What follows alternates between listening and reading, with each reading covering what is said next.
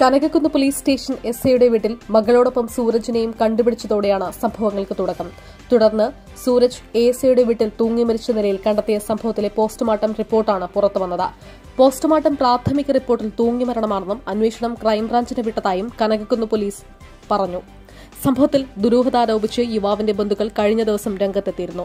തൃക്കുന്നപ്പുഴ വലിയംപറമ്പ് ആറ്റുവാത്തല സ്വദേശി ഇരുപത്തിനാല് വയസ്സുള്ള സൂരജിനെയാണ് മുതുകുളം കനകക്കുന്ന് സ്റ്റേഷനിലെ ഗ്രേഡ് എസ് ഐ സുരേഷ് കുമാറിന്റെ വീട്ടിൽ തൂങ്ങി മരിച്ച നിലയിൽ കണ്ടെത്തിയത്.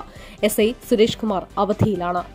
മൃതദേഹം കണ്ടെത്തിയപ്പോൾ സൂരജിന്റെ ഇടതുകാൽ തറയിൽ മുട്ടി മടങ്ങിയ നിലയിലും വലതുകാൽ തറയ്ക്ക് പുറത്തുള്ള മണ്ണിനോട് ചേർന്നുമായിരുന്നുവെന്ന് ബന്ധുക്കൾ ആരോപിച്ചു. എസ് ഐയുടെ വീടിന്റെ പിറകിൽ നിന്ന് പല ഭാഗങ്ങളായി പൊട്ടിയ നിലയിലാണ് സൂരജിന്റെ മൊബൈൽ ഫോൺ കണ്ടെത്തിയത്. വീട്ടിൽ നിന്ന് അത്രയും അകലെയെത്തി ആത്മഹത്യ ചെയ്യേണ്ട കാര്യമില്ലെന്നും ബന്ധുക്കൾ പറയുന്നു. സൂരജിന്റെ മരണത്തിൽ വിശദമായ അന്വേഷണം വേണമെന്നായിരുന്നു വീട്ടുകാരുടെ ആവശ്യം. എസ് ഐ സുരേഷ് കുമാറിന്റെ മകളുടെ സഹപാഠിയായിരുന്നു സൂരജ്. ഞായറാഴ്ച രാത്രി പത്ത് മണിയോടെ സൂരജ് എസ് ഐയുടെ സാരംഗി എന്ന വീട്ടിലെത്തുകയും വീട്ടിലുണ്ടായിരുന്നവരുമായി വാക്കുതർക്കം ഉണ്ടാവുകയും ചെയ്തിരുന്നു. ഈ സമയം എസ് ഐ വീട്ടിലുണ്ടായിരുന്നില്ല. ഭാര്യയും മക്കളും മാത്രമാണ് വീട്ടിലുണ്ടായിരുന്നത്. വാക്കുതർക്കത്തിന് ശേഷം വീട്ടുകാർ സൂരജിനെ തിരിച്ചയച്ചു. തുടർന്നാണ് അടുത്ത ദിവസം രാവിലെ സൂരജിനെ വീടിനോട് ചേർന്ന് വടക്ക് ഭാഗത്തായുള്ള ഷെഡിൽ തൂങ്ങി മരിച്ച നിലയിൽ കണ്ടെത്തിയത്. സൂരജിന്റെ ബൈക്ക് സമീപത്തു നിന്ന് കണ്ടെത്തിയിരുന്നു.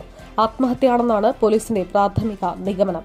അസ്വാഭാവിക മരണത്തിന് പോലീസ് കേസെടുത്തിരുന്നു. ക്രൈംബ്രാഞ്ച് അന്വേഷണം ഏറ്റെടുത്തതോടെ പ്രതീക്ഷയിലാണ് കുടുംബം.